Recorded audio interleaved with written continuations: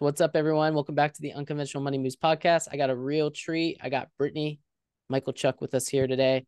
And we were talking offline a little bit. A couple things Brittany can definitely help y'all out with is building the community, getting your confidence where it needs to be. And then the third one is a secret. I'm gonna let her share that with you. So happy to have Brittany on. And she created the what were you saying online? The largest entrepreneurial group in up in up in Canada?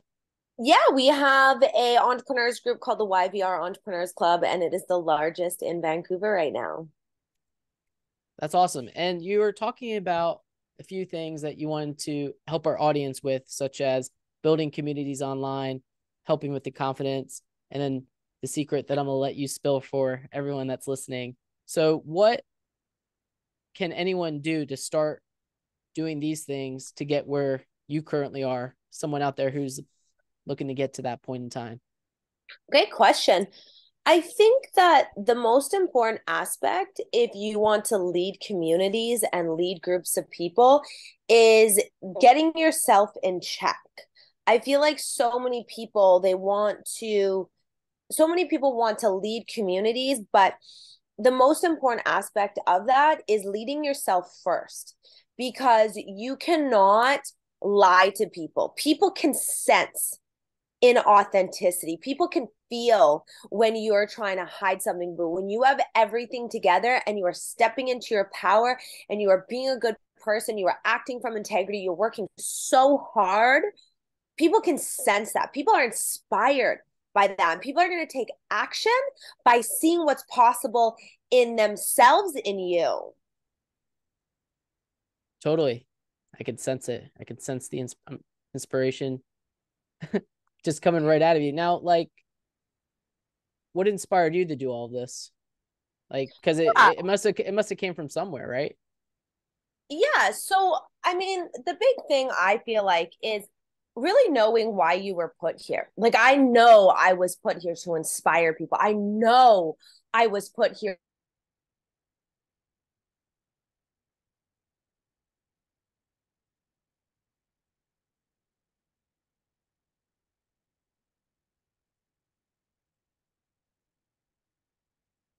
when you're focused on just yourself and making money and and and building fame for yourself that's only going to push you so far. But when you have a why that's bigger than you when you want to leave a legacy when you want to change the world that is a why that is going to keep you pushing through every single challenge and every single hurdle.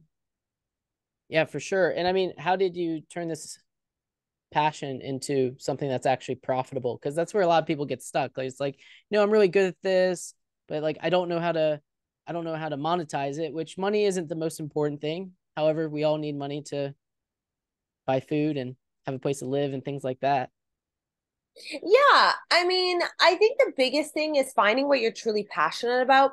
When I was going around and trying different things. I had to try so many, I had to overturn so many rocks to figure out my passion and purpose. But I had to try things. And at the end of the day, so many people, so many fears of doing what they're really, what they're, what's on their heart, what they were, what's their true passion. And when you take away all those fears and you take away every single thing that's holding you back, you then allow yourself to step into that power and and do amazing things in the world because when you're focused on building something so great it's like nothing can stop you. And that's that's really powerful. For sure. Now like you're you're doing mostly real estate now right so I do, we own 42 rental properties. I help with the rental properties, managing them, putting them online, all the marketing and advertising. And then I also have my club, YVR Entrepreneurs Club. But YVR Entrepreneur Clubs is my my main focus. Gotcha. Gotcha. So the entrepreneur club's the main focus. The rental is just kind of like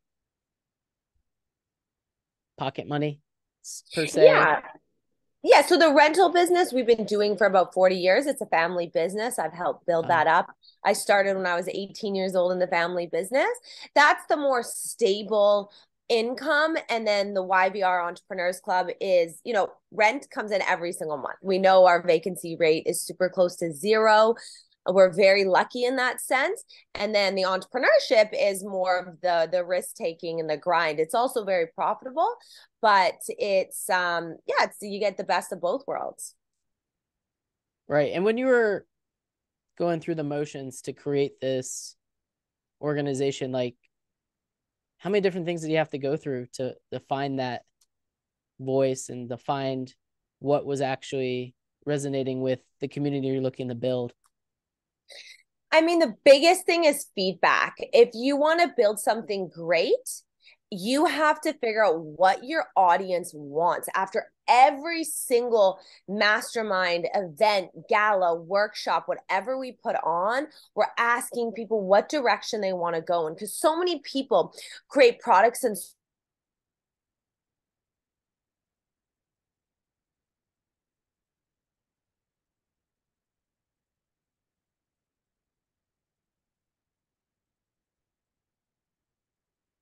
mm-hmm. their pain points are, you know what their weaknesses are, their strengths, everything, and you're able to create solutions to help them. That is how you create a business that is out there changing the world.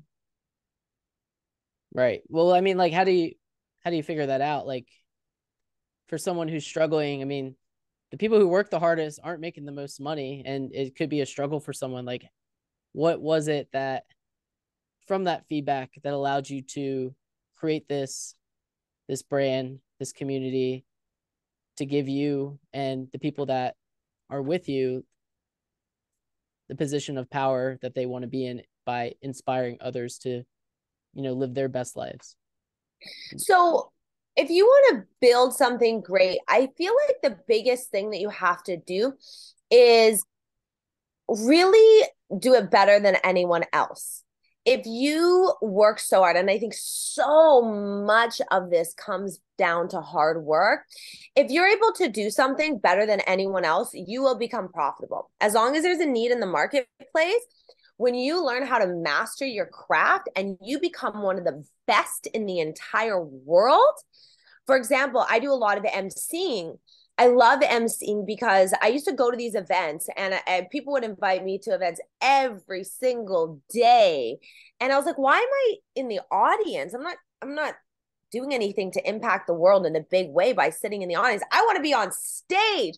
I want to be impacting people's lives on stage. I want to be inspiring people. I want to be bringing people together. I want to be positively impacting people. I'm not going to be able to do that by sitting in the audience.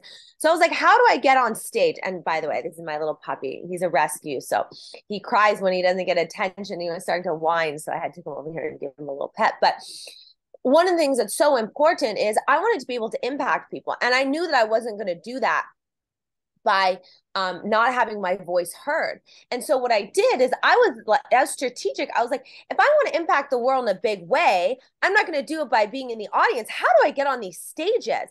So that's when I started to perfect my craft. That's when I was like, I need to be emceeing on these stages. I need to be speaking on these stages if I want to impact the world in a big way.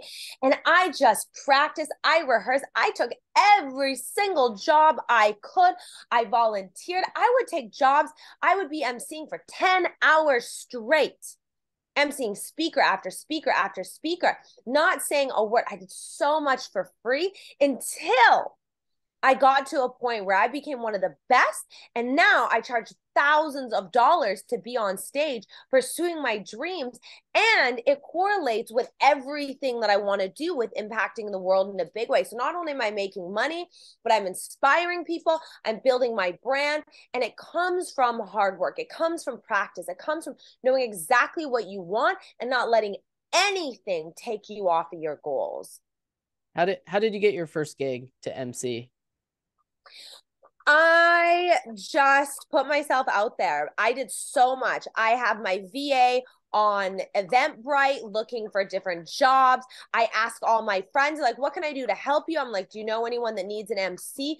Because what I do is I use the MCing position, which I MC five events in six days last week. I use the MC jobs because if I'm going to go to these events anyways, why not be on stage? I use the MC jobs and I funnel everyone into my YVR Entrepreneurs Club, which is a very profitable business as well. So it's kind of like the two complement each other. I was like, okay, what do I want to do? I want to have rooms of thousands of people and be able to inspire people and bring communities together and have entrepreneurs collaborate. And so that funnels into the YVR Entrepreneurs Club. So I just got out there. I started building my brand. Before you called, I was updating my speakers package. I was taking screenshots of videos when I was speaking. I'm building my brand. I'm putting it out there. I'm getting on stages. I'm asking people. I am unapologetic about my goals and I don't stop at anything. That's that's definitely apparent. I could definitely sense that. But what was that first like gig? Was there like five people there, 10 people there? Like paint a picture because like, you know, the first thing that you do it's probably it's probably not going to be the most glamorous. However, you are on stage performing in front of an audience, which is the most important thing is getting started, right?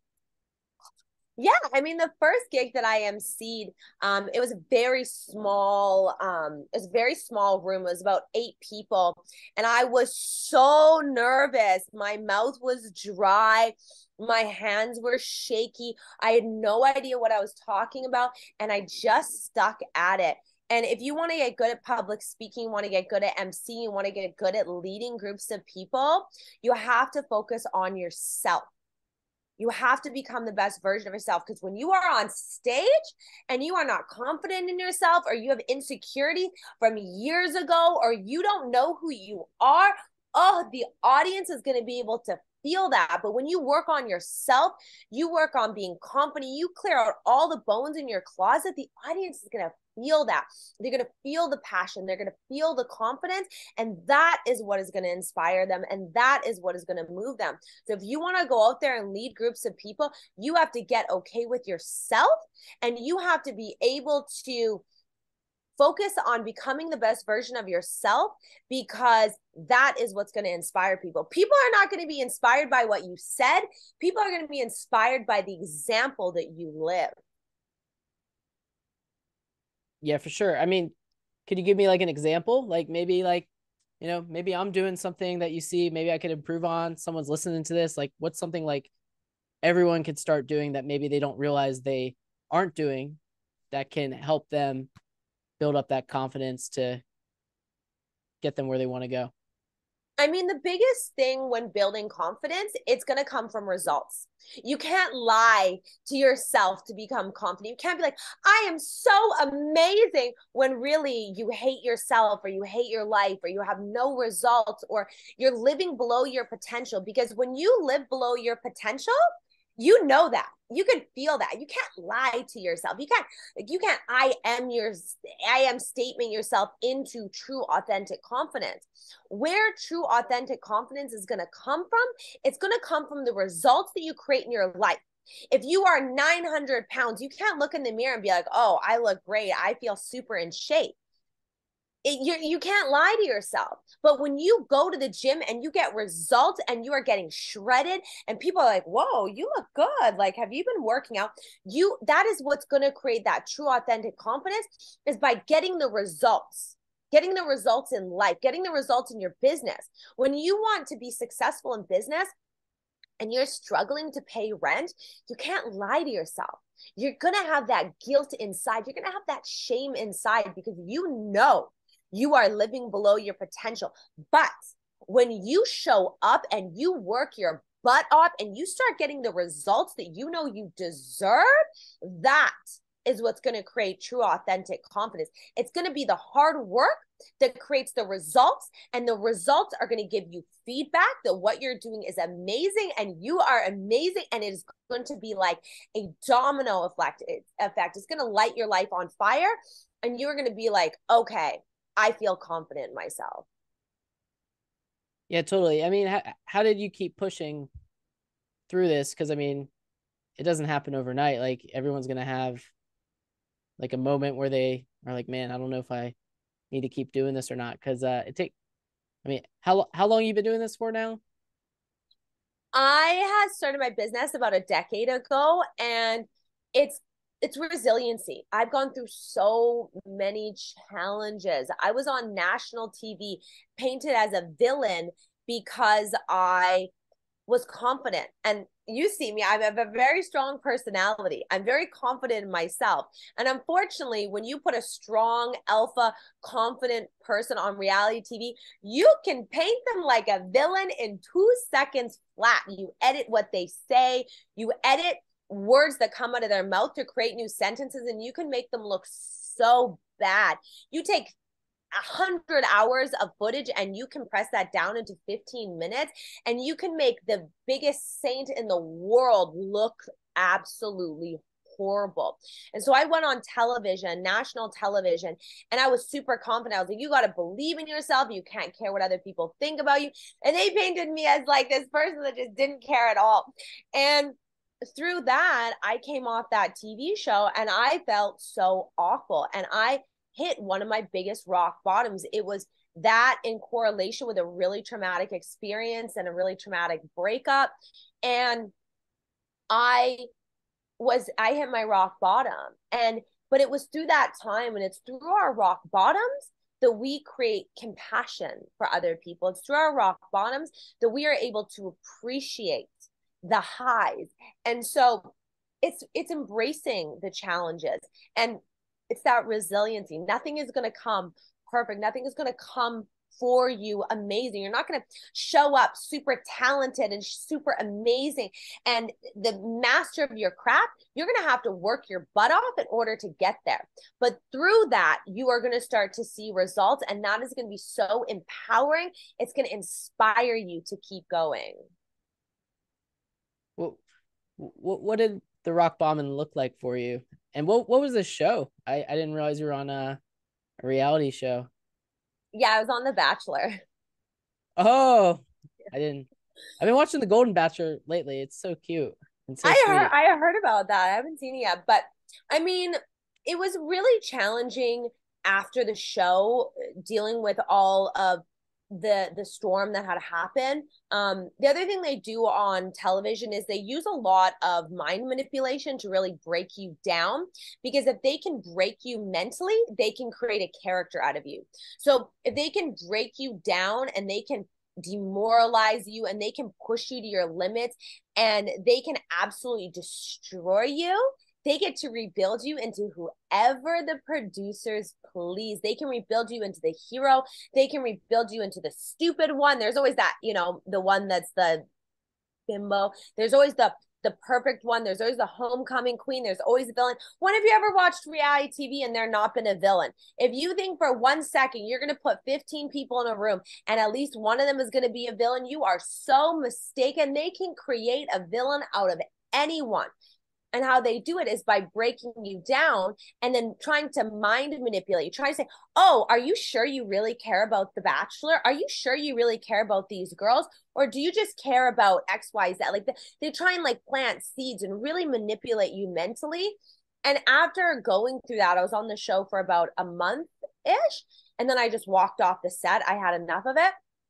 But it really like it really pushes you to limit as a human being. And I'm a very strong individual. So for me to go through this experience was I couldn't even imagine what other people are going through as well. And I had to rebuild after that. I had to come off that show after being painted as somebody that I was not. And I had to stand in my truth and be like, I know who I am. I know I'm a good person. I know I just want to help people. I just want to inspire people. I went on that show trying to inspire people to be confident in themselves and they they spun it as I was too confident. And I was like, what's going on?